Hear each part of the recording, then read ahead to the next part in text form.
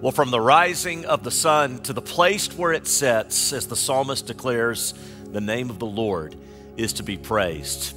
Before we spend some time together in the Word, we're going to spend a few moments together in prayer, and I'm really excited about this particular time of prayer. I've asked three of our shepherding couples here at the branch to pray over all of us. Over the last several weeks, we've been praying over a lot of different themes related to what we're walking through, both in the life of our church as well as in the world around us. But I thought it would be really powerful to have some of our own elders and their wives pray over us right now. And I've asked them to cover three particular themes for us. Chris and Kristen Brewer are going to pray over all of us as it relates to our mental and emotional health and well being. Then Terry and Janet Grimm are going to pray over us in regard to our financial and vocational well being. And finally, you'll hear Jason and Kimberly Schumacher as they'll pray over us in regard to our physical health and well being. I want to encourage you right where you are just to go ahead and open up your palms to the Lord right there in your lap and soak in these prayers over us. Let's pray together. Father, we are reminded of who you are and I am grateful that you are over all things, big and small. Your power, your love, your grace leaves me in awe. Right now, I want to pray for those who are weary, who are lonely, who are anxious, who might be struggling. I ask that you help us to meditate on your goodness and your faithfulness. And I pray that you fill us with a peace that is constant through all the ups and downs we face each day. Give us the courage and humility to be vulnerable and reaching out for prayer and encouragement from others. Lord, I pray you surround us with others who will remind us where our help comes from and to lift our gaze away from the troubles of this world and straight to you, the one who provides the hope we need in this season and in all seasons. We have so much to be thankful for, especially to know that we can cast all of our anxiety on you because you care for us. I'm also thankful for your word from Isaiah, where you tell us, Do not fear, for I am with you. Do not anxiously look about you, for I am your God. I will strengthen you. Surely I will help you. Surely I will uphold you with my righteous right hands. Heavenly Father, you are the one, Lord, the one who delivers, the one who provides, the one who keeps his promises, the one who works miracles.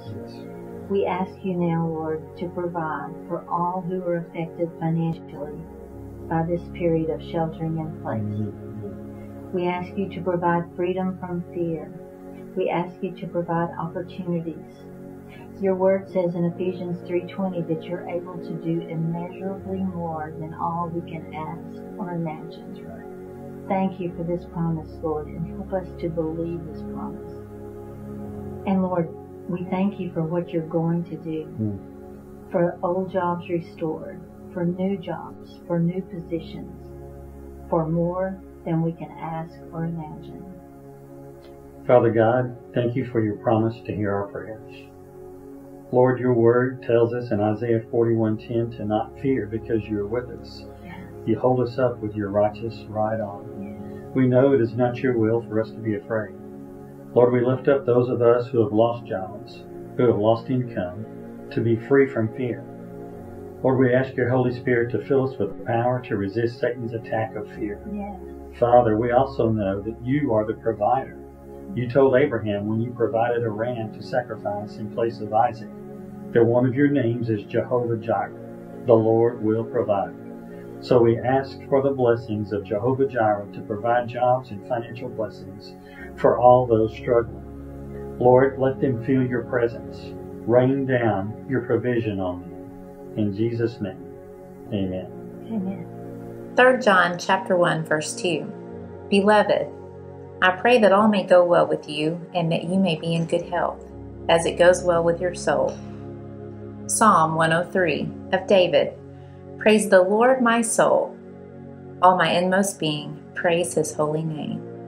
Praise the Lord, my soul, and forget not all his benefits who forgives all your sins and heals all your diseases, who redeems your life from the pit and crowns you with love and compassion, who satisfies your desires with good things, so that your youth is renewed like the eagles. Pray with me. Holy God, we're so glad that you love us, so glad that you know us, and Lord, you know how many hairs we have on our head. And we're so grateful that you are our Creator and Father. Lord, we pray protection over our bodies and our physical health in the midst of this time. Lord, give us wisdom about what we're supposed to do and how we're supposed to do it. Lord, we're so grateful for doctors and nurses and so many that are working so hard to restore our bodies. And Lord, we pray that you restore them as they continue to expend that energy. And Lord God, we pray for anybody who is sick right now, whether with this dreaded virus or some other disease. Lord God, we pray that you heal them in the name of Jesus. It's in Jesus' holy and mighty name we pray. Amen.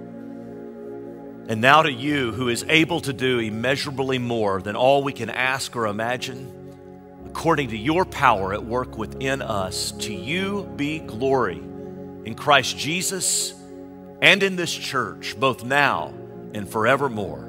And in the name of Jesus, the church says, Amen. I've got a good buddy out in San Diego who posted this on his Instagram account this past week. And his sentiments are my sentiments exactly. The most useless purchase of 2019, a 2020 planner. I've learned so many things these past several weeks, one of which is this the things that I count on happening in the future, I shouldn't necessarily take for granted. I need to hold on to them loosely, even while I hold on to the hand of Jesus as tight as I can. So, we're spending some time with the writings of the Apostle Paul and even in a few stories of the Apostle Paul right now, because Paul can teach us something about what it is to live certain on the promises of God in the midst of uncertain times. We were in Philippians 1 last week. We returned to Philippians chapter 1 this week. And we saw last week that while we don't have much control over certain outcomes, we do have a choice when it comes to a certain outlook. And the Apostle Paul taught us last week that even though he's in chains, he was completely preoccupied with being in Christ. And for Paul, he was in Christ before he was even in chains. And that shaped how he looked at everything around him. He looked at everything around him through Christ. This past week, I was struck by a mother who was reflecting on an experience where she had been reading the Chronicles of Narnia, C.S. Lewis's great work, to her children. And recently, one of her seven year olds uh, said to her one evening about that story Mama, please read to me about Aslan. Aslan is the name of the great lion in the Chronicles of Narnia. Aslan represents Jesus. She says, Mama, please read to me about Aslan tonight. She said, Why, baby? And her daughter responded, Because when you read about Aslan, I don't think as much about my fears. Out of the mouths of babes. That young girl is learning about the power of being preoccupied with Jesus. And this is Paul. He's preoccupied with Jesus and with what it is to be in Christ. And because he saw himself in Christ, he saw everything that happened around him through Christ. He's dealing with an unjust imprisonment. He's dealing with an unfair portrayal of himself by what other people are saying around him. And he's also dealing with living with certain uncertainties about the future ahead. We're going to pick up with what Paul has to say about this in Philippians 1 and verse 18 and how he's dealing with all this. And so to get us rolling, one of my heroes in the faith, Ed Bonneau, is going to read Philippians 1:18 through 126. Listen now to the reading of the word. Yes, and I will continue to rejoice. For I know that through your prayers and the help given by the Spirit of Jesus Christ, what has happened to me will turn out for my deliverance. I eagerly expect and hope that I will in no way be ashamed, but will have sufficient courage so that now, as always, Christ will be exalted in my body, whether by life or by death.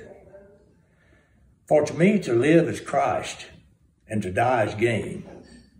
If I'm to go on living in the body, this will mean fruitful labor for me. Yet what shall I choose? I do not know. I'm torn between the two. I desire to depart and be with Christ, which is by, which is better by far. But it's more necessary for you that I remain in the body.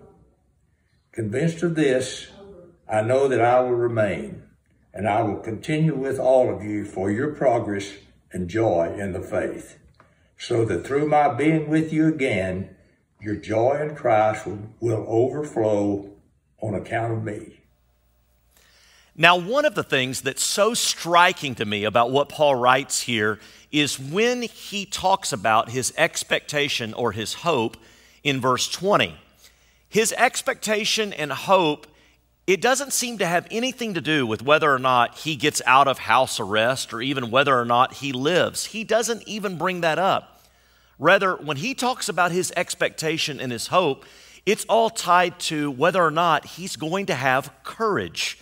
Look again at verse 20. Paul says, I eagerly expect and hope that I will in no way be ashamed, but will have sufficient courage so that now as always Christ will be exalted in my body by life or by death. Paul's completely preoccupied. His primary concern is with whether or not he's going to have the courage to exalt Jesus in his life or in his death. And you know, exalting Christ at some point in uncertain times is going to require some courage. I think it's kind of cool. Paul does mention where he thinks his sufficient courage is going to come from. If you look up one verse earlier to verse 19, I see three places that Paul sees his courage is coming from. Check it out. He says in verse 19, he mentions the prayer of others. For I know that through your prayers, and then he mentions uh, God's provision of his Holy Spirit. He says, and God's provision of the Spirit. And then finally, he mentions his perspective. He says, What has happened to me will turn out for my deliverance. Paul's courage comes from three different sources. He mentions the prayers of the Philippians, the indwelling or empowerment of the Holy Spirit, and then he does bring up his perspective. His perspective brings, his, brings him courage. He says, What has happened to me will turn out for my deliverance. Now, here's what's interesting Paul is certain about his deliverance. He's uncertain as to what his deliverance is going to look like. He brings up a couple of different scenarios in the course of this reading. Either he's going to be delivered through eventually being allowed to live by Rome and when Rome allows him to live, he just sees that as, hey, that's deliverance. It's going to mean fruitful, continued labor for me on behalf of Christ on this side of the grave. But then Paul also can see his deliverance as actually coming through his death at the hands of Rome. Because if he's executed by Rome, then that means that he's going to go and be with Jesus for good. Paul has this outlook that either outcome can be a platform for Jesus to be glorified. And that's why he talks about Jesus being exalted, either by his life or by his death. For Paul, this thing is a win win for Jesus, but it's also a win win for him. Jesus is going to be glorified in both outcomes in his life, as far as he's concerned, by how he conducts himself in his life or in his death. But he thinks it's a win win for him. He goes on to say this in verse 21 For to me, to live is Christ, and to die is gain. If I'm to go on living in the body, this will mean fruitful labor for me. Yet what shall I choose? I'm torn between the two. I desire to depart and be with Christ, which is better by far, but it's more necessary for you that I remain in the body. And I read that and I want to go, is this some kind of attitude or what? Here's a guy who's under house arrest awaiting the biggest trial of his life, and all he can say is, hey, I've got some incredible options here. Either I, I, can't lose because to live is Christ, to die is gain. Either I'm going to be freed here and I'll continue being fruitful in my labor for Christ this side of the grave, or I'm going to die and I'll just go ahead and go and depart and be with Christ. And the point is, Paul's not burning much of his energy agonizing over certain outcomes in his life. He's focused on exalting Jesus in whatever outcome, and his imagination is even dedicated toward how could Jesus be glorified in this outcome? How could Jesus be glorified in that outcome? I got to tell you what, Paul's outlook completely challenges me, particularly that line, to live is Christ. That's so challenging to me because I'll level with you. I have a lot of days in my life where that's not my motto. My motto that I'm living by isn't to live is Christ. My motto that I'm living by is this to live is me. And I think, quite honestly, most of us as human beings really struggle to live as Christ's that it's real easy to get sucked into the narrative of to live is me. But I want to tell you what if you and I are living by the motto to live is me, then to die isn't gain. To die is tragic. But not only is death tragic when you and I are living by the motto to live is me, life becomes tragic as well.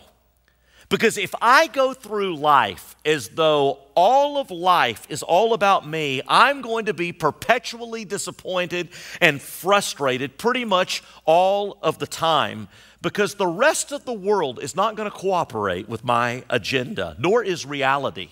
And this is because life in this world doesn't revolve around me. God loves me, God is for me, but that doesn't mean His will or this world revolves around me.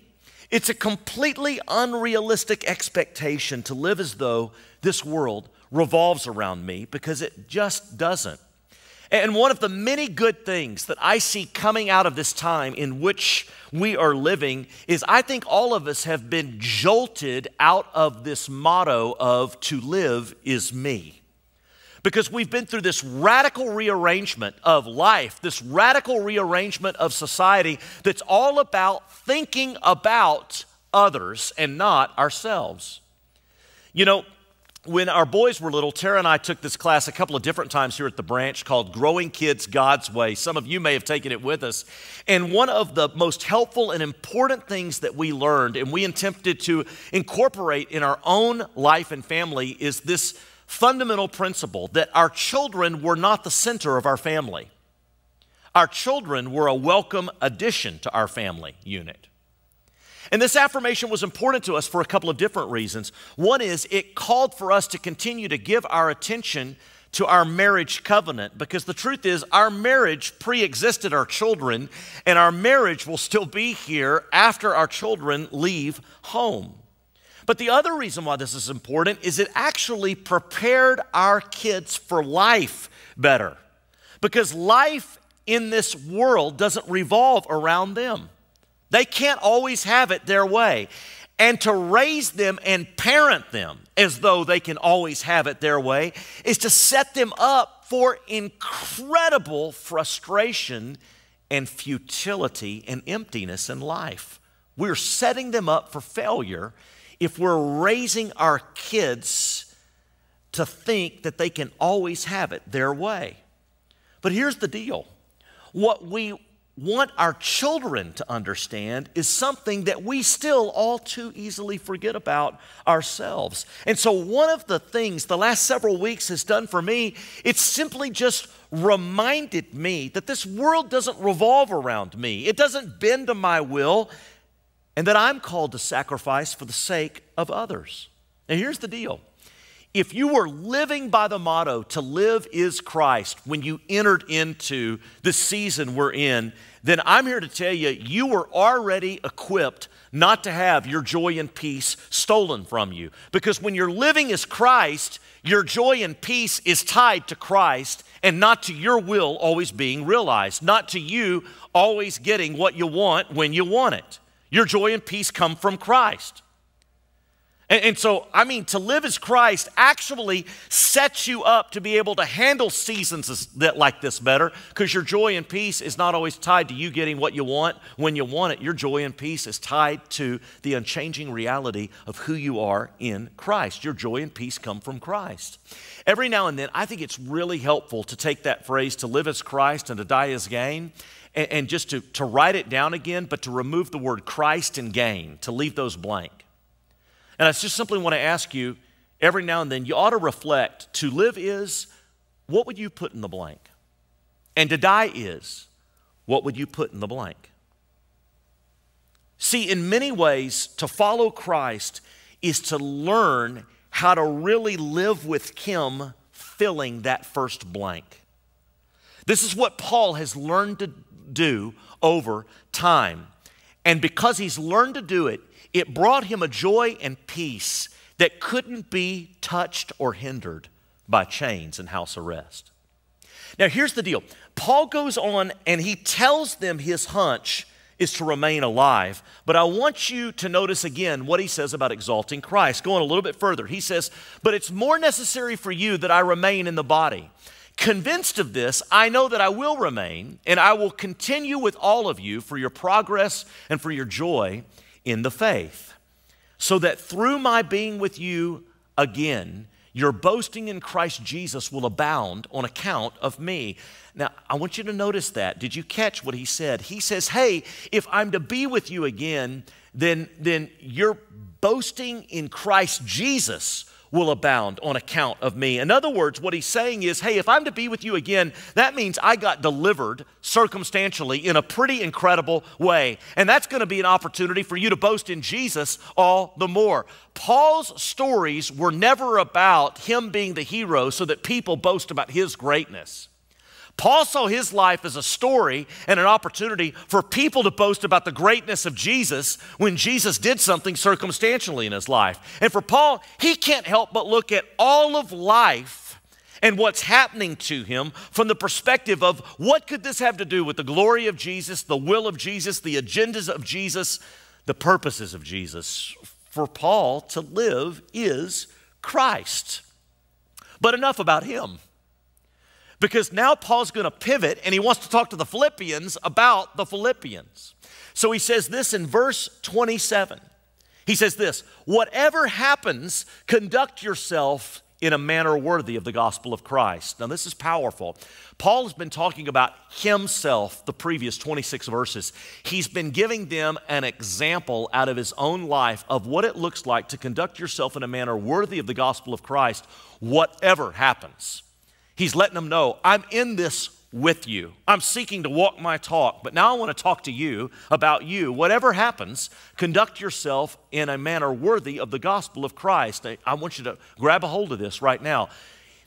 He's not saying that you conduct yourself in a manner worthy of the gospel of Christ so that you'll be saved by the gospel of Christ. No, for Paul, it's we conduct ourselves in a manner worthy of the gospel of Christ because we've been saved by the gospel of Christ.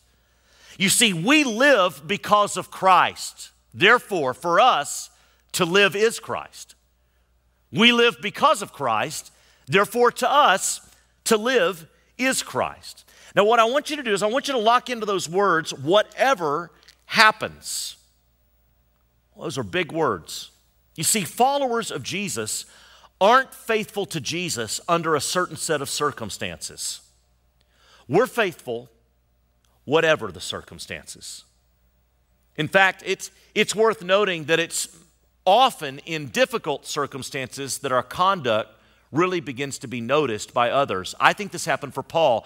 Let me show you something kind of cool. Go to the very end of the letter to the Philippians, uh, the next to last verse when Paul is signing off, Philippians 4 and 22. Check out what Paul says here.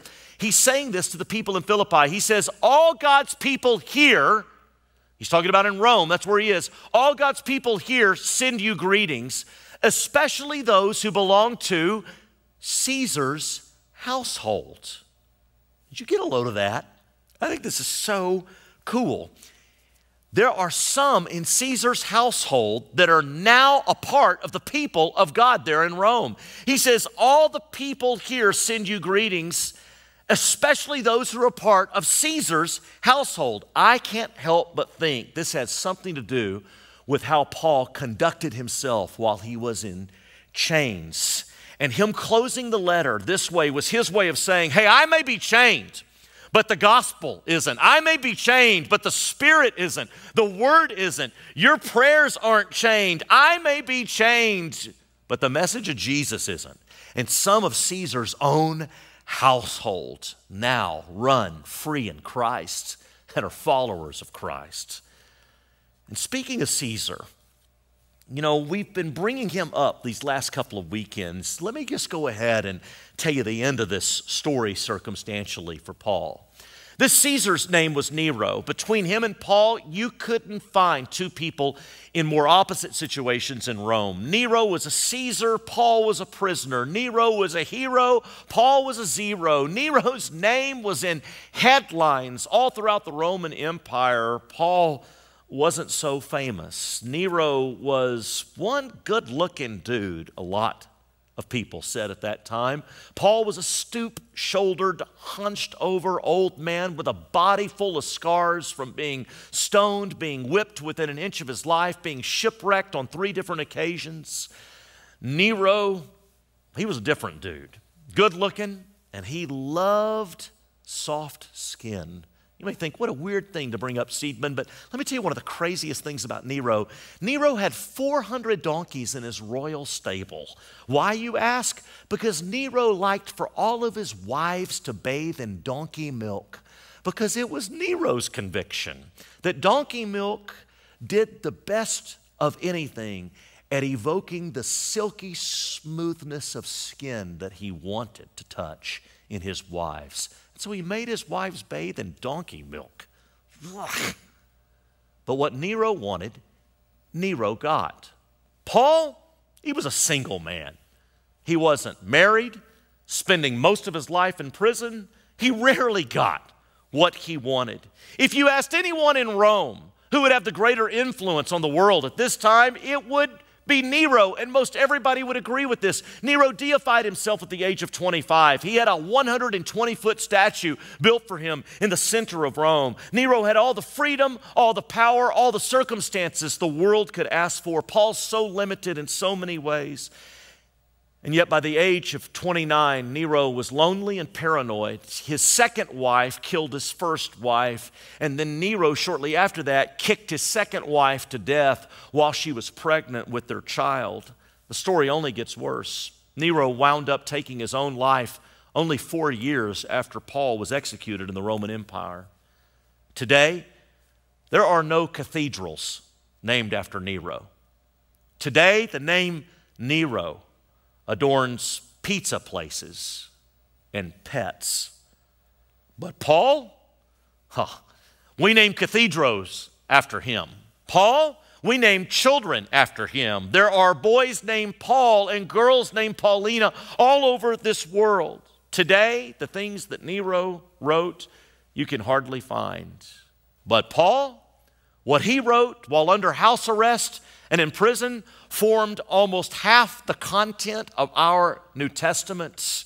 It makes up a chunk of our Bible that is the most widely read and widely published book in the history of the world. You say, Chris, what are you saying? I'm saying this. When you're living in Christ, you're not near as limited as you think.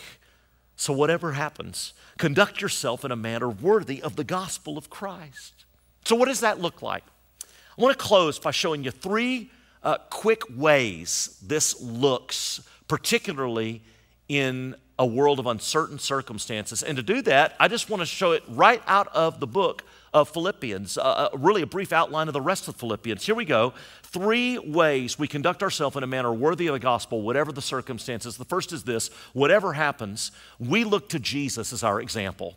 That's Philippians 2.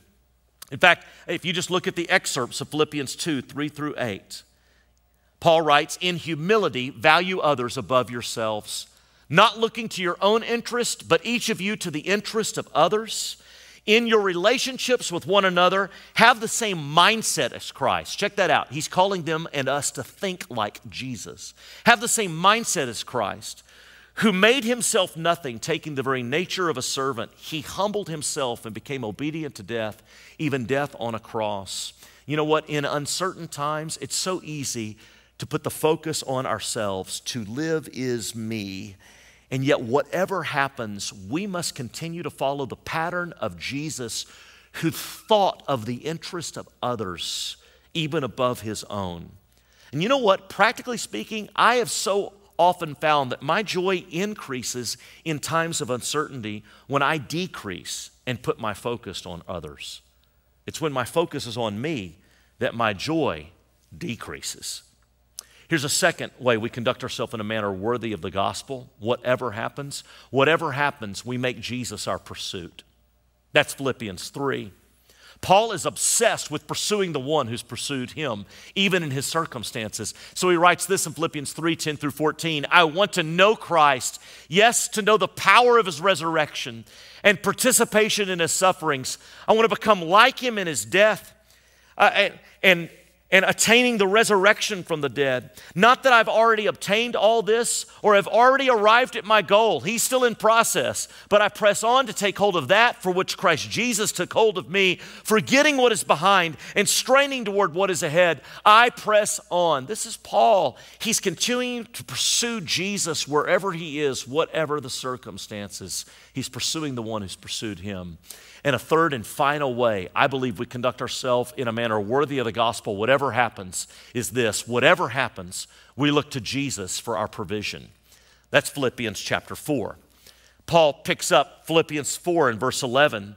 He says to the Philippians, I'm not saying this because I am in need, for I have learned to be content whatever the circumstances. I know what it is to be in need, and I know what it is to have plenty. I've learned the secret of being content in any and every situation, whether well fed or hungry, whether living in plenty or in want. I can do all this through Him who gives me strength. Did you notice? He says there's a secret to being content. It has to be a secret. You know why? Because there are plenty of people who have plenty and they're still not content. There must be a secret. You see, contentment has little to do with how much you have. Paul says there's a secret to being content, whether he had plenty or he was in want. The secret to contentment was found through Christ. Contentment has more to do with the provision of Christ within us than the arrangement of circumstances around us. Contentment has more to do with the provision of Christ within us than the arrangement of circumstances around us. You say, but Chris, what about our basic needs? Oh, he's in the business of fulfilling that too. In fact, Paul closes by saying in Philippians 4 and verse 19, and my God will meet all your needs according to the riches of his glory in Christ Jesus. God is in the business of working circumstantially in our life to meet our needs. Thanks be to God. But he's also in the business of giving us the capacity to be content in the midst of our needs. May God be praised. And anytime we talk about our needs, we would be remiss if we didn't acknowledge how He has met the greatest of our needs in Christ Jesus. And the greatest of our needs is the need to be forgiven, to know that we're forgiven, to know that life can be redeemed, and that each and every one of us can have a new beginning.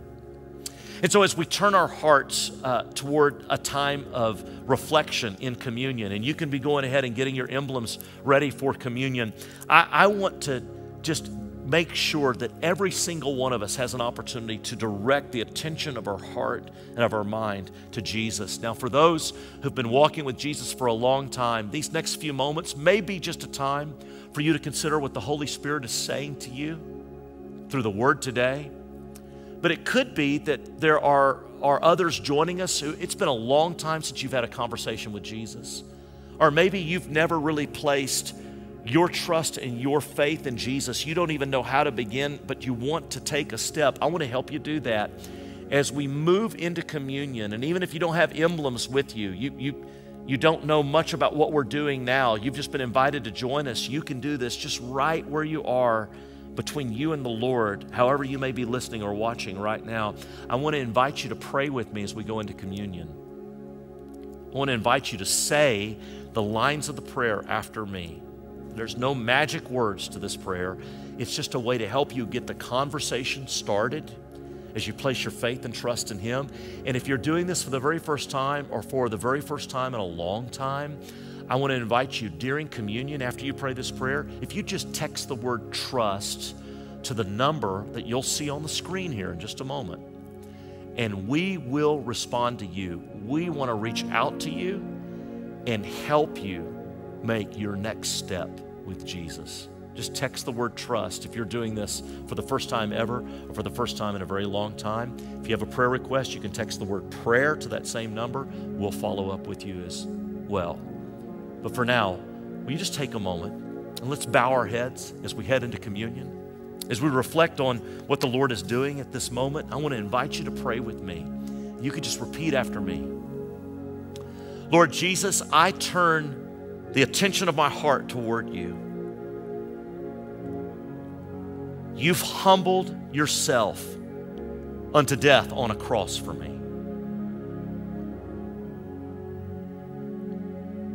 Today, I make the words of Paul from Philippians 2